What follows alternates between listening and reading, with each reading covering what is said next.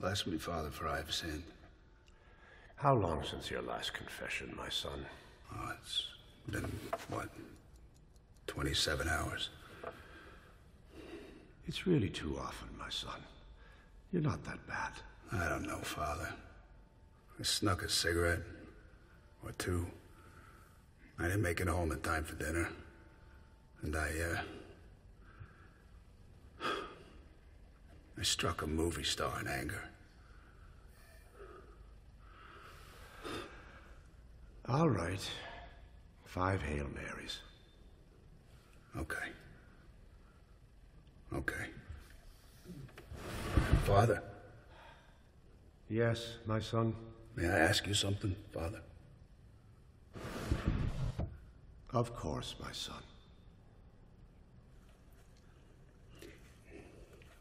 If, there, if there's something that's easy, is that wrong? Easy? E- easy to do. Easy to. uh, Like an easy job. No, it's not, it's not a bad job. It's not bad. But then th- there's this other job that's. that's not so easy. And- and in fact, it's hard. It's. It's so hard, Father. Sometimes I don't know if I can keep doing it, but it. it, it seems right. I- I don't know how to explain.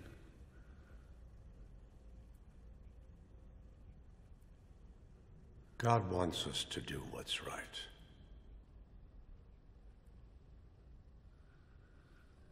Yeah. Yeah, of course he does. The inner voice that tells you what's right. It comes from God, my son.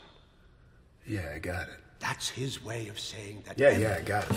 Still raining in Gallup, New Mexico, and the Tucumcari crew has shut all the plates we need for King the Rain. Well, just shoot the show down in the weather and we'll retitle it. Tucumcari Tempest, Desert Squall, Hold Back the Storm. The stories begin, the story's end. I don't know, bounce it off the writers. So it has been. Here's today's call list. Add a call to a Mr. Cudahy at the Lockheed Corporation. Long call, short.